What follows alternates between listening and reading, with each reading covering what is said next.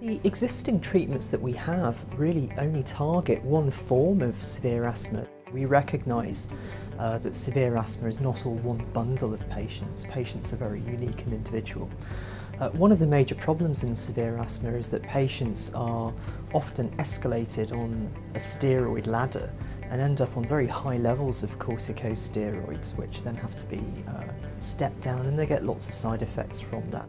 And if we take other models of disease like cancer, we know that uh, cancer therapies are really targeted to specific abnormalities at the molecular and genomic level in tissue.